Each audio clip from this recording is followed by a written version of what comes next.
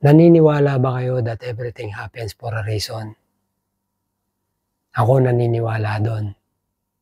Pero minsan, hindi talaga natin alam kung ano yung reason, kung bakit nangyayari yung mga bagay-bagay. Kukwento ko sa inyo yung dahilan kung bakit ako naniniwala sa kasabihan na yun. Way back 1990, when I was a college, nagkaroon ng napakalakas na lindol sa Central Luzon.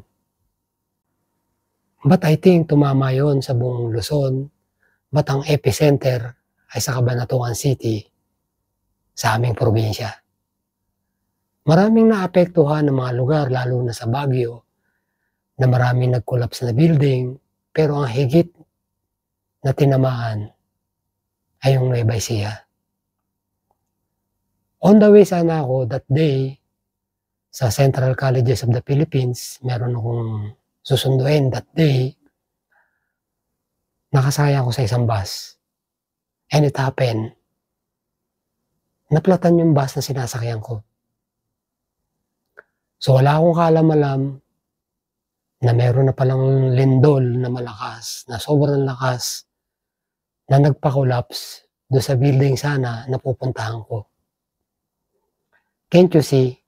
Kung hindi ako idinilay ni Lord, kung hindi naplatan yung bus na sinasakyan ko, baka isa ako sa mga estudyante na namatay during that day. At ang nakakatuwa pa, yung katabi ko na professor pala doon sa building na nag-collapse ay na-delay din ng pagpasok.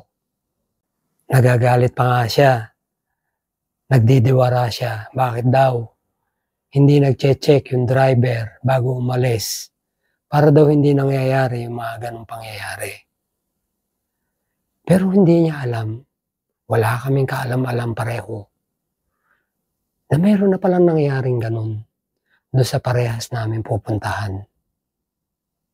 At hindi lang yun na nakakatuwa. Karamihan pala nung sakay nung bus na yon ay papunta din sa Cabanatuan City na naapektuhan nga ng epicenter ng lindol. So it means wala kaming alam lahat na baka isa sa amin kung hindi naplatan yung bus na yon ay wala na ngayon. Kaya kung ano man yung nangyayari sa buhay mo, kung ano man yung reason na hindi mo alam, have patience. Kasi hindi ka i-delay ni Lord. Hindi niya gagawin yun kung alam niya na ikapapahamak mo. Kaya always believe na kung ano man yung mga pangyayari sa buhay mo, that's always a reason.